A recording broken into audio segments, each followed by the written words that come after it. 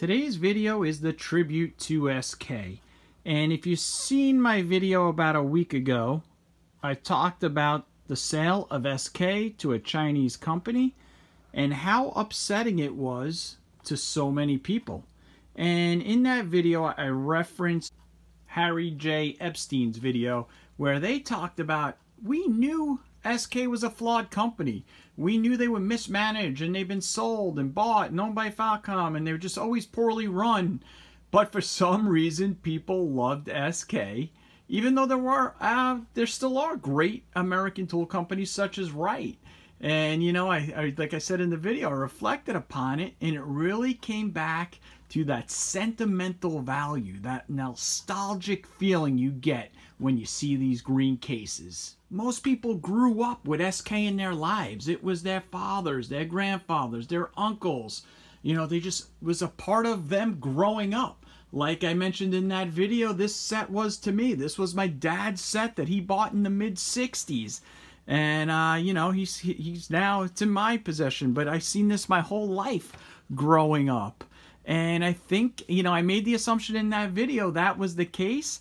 And sure enough, wouldn't you know it, people responded. Uh, take a look at some of these comments here.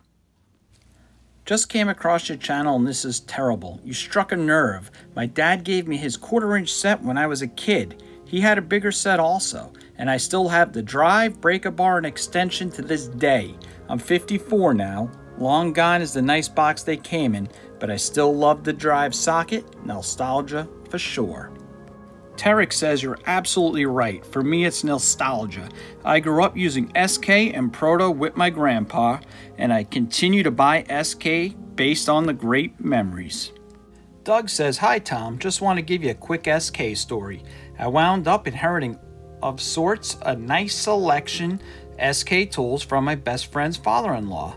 He was a wonderful guy, World War II vet, Shriner, and all around good man. I rarely use them, but when I do, I have great memories and laughs we had together. Pat says, I think it's both the nostalgia for SK and the fact that we may have lost the last best known value American tool line. My grandfather was a Sears and Roebuck man and Craftsman man, so I am as well. And when Craftsman went largely offshore, we still had SK. Sure, there were other wallet friendly US brands, but not with the SK name recognition. So that was just four of the many, many comments that were put in um, on that video. So if you haven't seen the video, check it out. Really appreciate everybody sharing their SK stories and comments. And in that video, I also asked for people to send in some pictures of some SK tools that are very nostalgic and sentimental to them. And I'll show you those in a minute. But I'm going to show you a couple of more of my favorites before we go to that. So I got a lot of things out here, um, and I'm not going to go through all of them in this video. I was thinking, though, maybe I should uh, do an SK toolbox tour because almost every drawer I go into in my toolbox has something in it for SK, uh, whether it's pliers, wrenches, uh, socket sets. But these are pretty much the socket sets that I have that aren't in the toolbox. Um, and the first item I wanted to share with you is this, uh, just this nice, smooth as can be, 3 8 drive mini ratchet if you don't have one of these, definitely see if you could pick one of these up. I believe they still make them. This one I got on eBay a while back, and it is just so smooth. I use it for almost everything because it's just the perfect size. You know, most of the time when you're working on things, if you don't need a ton of leverage, this is just great. Uh, the next item I wanted to share is another item I picked up not too long ago. I'll bring it over here to the camera. It's what they call the Frankenstein ratchet. So my dad sent me this socket set a while ago. He had got it from somebody. Um, and he had had it for a while, but it was missing the ratchet. I think it just had a, might have had a Craftsman ratchet in it. And I'm still looking for the period correct sockets to go in here. So there's some of them are there. It's kind of of this vintage of this, uh, this style here was more, as you can see there, I want to say the early 90s um, that it, they kind of had that markings on it. Uh, they might have been during the Facom era for all I know. I don't know enough about these Frankensteins, but all I know is that they're collectible, and I wanted one, so I searched around for one of these, and it's one of my favorites just because there's not a ton of them out there, and you know, compared to round heads, they're just everywhere. It's not a good ratchet, don't get me wrong. It's chunky, it's clunky, it's not good because you could easily be ratcheting something, and uh, it's, it's just a terrible design. It would knock it out of, you know, position. So that's another And just a couple others. I picked this up for $10. I did a restoration on it. I did a video, cleaned it up, painted it. If I had to do it again, I would do it, you know, much better as my I've gotten better with my restorations. Absolutely love the set that Scoutcrafter got me here. Look how clean that is. If you haven't seen that video, check it out. Oh, there it is. I mean, it is clean as can be. Almost as good as to new old stock as you can get. Um, so I really, that one has a, a, a, nice special place for me. And I love the same one that like Scoutcrafter got me that, so here it is over here, in the metric. You know, I love that because you come across the SAE ones, but not as frequently the metric one. And then there's one more item I want to show you. I got to open my toolbox. This is another one my dad sent me not too long ago, and I absolutely love it. It's a one-stop shop for any sort of bit you would need to go onto your ratchet. This is a 33 piece super set they call it. And you can tell it's definitely the older uh, SK logo on it. Probably date this to the early 90s, uh, maybe late 80s. And it was almost complete when he sent it to me. As you can see there, it's got some of the newer SK sockets in it as I warranted out a couple that were beat up.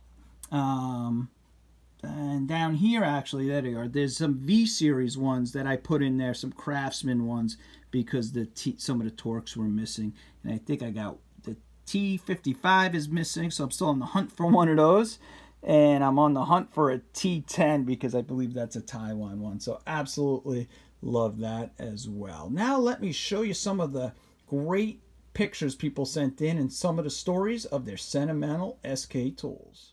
The first one is from Raw Bacon. Hey Tom, here's the pics of a set I got from my dad in 1956, making him 16 when I got it. I restored the box as you can see from the fresh paint job. The case had a lot of patina on it and not much paint left. Uh, besides for having a great name like Raw Bacon, Raw Bacon, I recognize his name. He's been commenting on Scoutcrafter's videos and he always has the greatest comments and provides great insights. So it's truly an honor to have him uh, subscribe to the channel. And look how nice that came out, huh? Is that a beautiful set or what? Great job restoring it. And the next one is from K&M Farms. All the tools my dad had growing up, I have now. Fixed many a John Deere combine with him and them.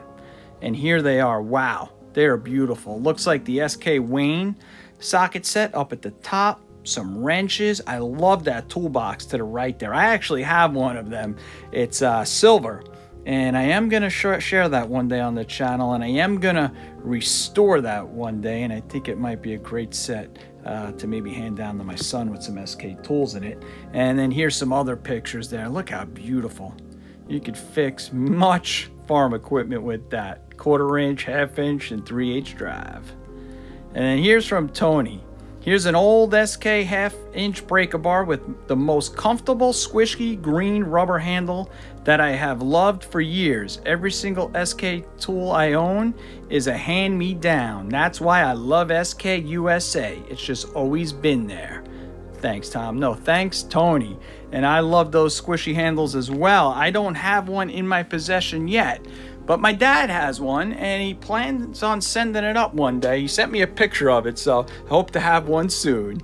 And the next one's from Noah. And if you don't know Noah, he loves SK almost as much as me. Well, probably more. And he's been wearing his SK USA flag hat to show his love for SK. I love the red, white, and blue on there. And that thing looks like it's got some patina on it as well. So thanks for sending that in, Noah. Next one's from John, and it really got me. My dad was a mechanic in the military 1950s and briefly owned a shop afterwards. I loved working alongside him when I was a little kid. So if he was working on a car, I'd put my bicycle alongside it.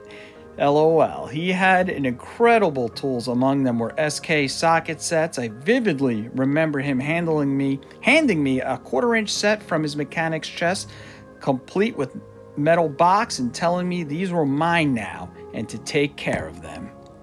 That was nearly 50 years ago. Unfortunately, through teen years, marriages, moves, and life, these are the only two pieces I've managed not to lose. Sadly, the socket extension green handle drive box a long gone.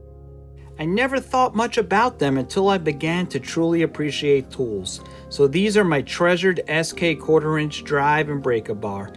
Out of my small collection of tools, these are among the few that mean the most.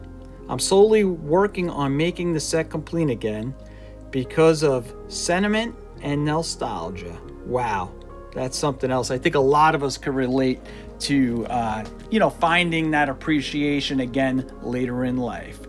Let's take a look at these great pictures.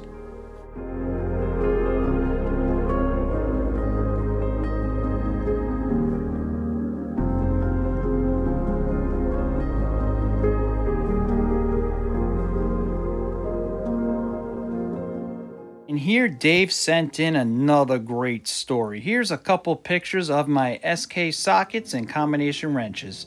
My father was a tool guy and owned SK sockets. I inherited that tool gene. I bought most of my SK socket sets and wrenches at BJ's Wholesale back in the 80s and 90s. The two smaller sets I bought off Craigslist as part of a toolbox sale a couple of years ago. My father was a small business owner, Dairy Queen. We didn't have money to fix many things for many years, so he would try to fix anything and everything. I followed his example and will try to fix anything. During our lean years, he didn't have money and was under a lot of pressure to keep the business growing. He would buy a small tool to release some pressure. That's where my love for quality tools is founded. I'm retired now and hope to pass my love of quality tools on to my kids and grandkids.